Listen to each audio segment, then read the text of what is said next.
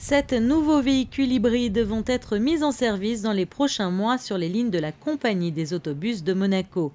Dérivés du modèle livré en 2014, ces autocars bénéficient des dernières améliorations techniques visant à une réduction des émissions fossiles.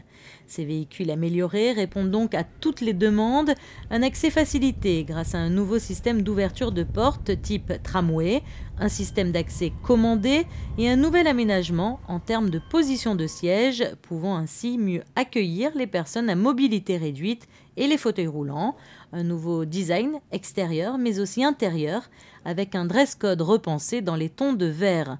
Cependant, le point fort de ce dernier né de la CAM réside dans sa toute nouvelle technologie. Ce sont des véhicules qui sont dérivés des séries précédentes, hybrides, euh, puisque nous avons déjà 8 véhicules hybrides qui circulent à Monaco. Ces véhicules ont une particularité, c'est la notion de stop and go, c'est-à-dire que la génératrice diesel, euh, qui fonctionne au diester, hein, un biocarburant, eh est susceptible de s'arrêter lorsque les batteries du véhicule sont suffisamment chargées. Donc par exemple sur un, trajet du type euh, jardin exotique euh, Monaco-Ville, l'énergie est récupérée lors du freinage en descente et les batteries se rechargent. Et ainsi on peut rouler en électrique.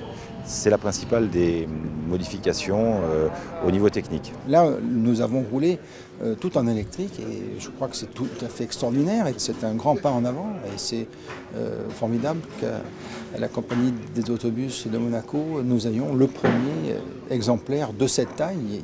Il, existait d'autres bus hybrides de plus petite taille et de plus petite capacité ailleurs, mais je crois que nous avons été les premiers à bénéficier de ce bus de grande taille. Et vous avez vu qu'il est très confortable.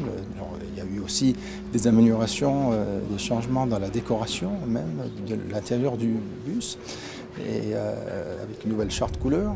Mais, je crois que ça va euh, apporter un, réel changement et un réel confort. Et puis c'est tout à fait dans la démarche que nous souhaitions, c'est-à-dire qu'entre les, bus qui, roulent en diester et, maintenant euh, ceux hybrides, et eh nous arriverons à une consommation euh, euh, qui sera extraordinairement réduite. Et je crois que c'est un, grand pas en avant, c'est une belle promesse pour le futur. Pour un meilleur confort des usagers et pour un environnement plus respectueux, sachez que les véhicules du parc des autobus de Monaco seront à terme tous équipés de ce nouveau système hybride.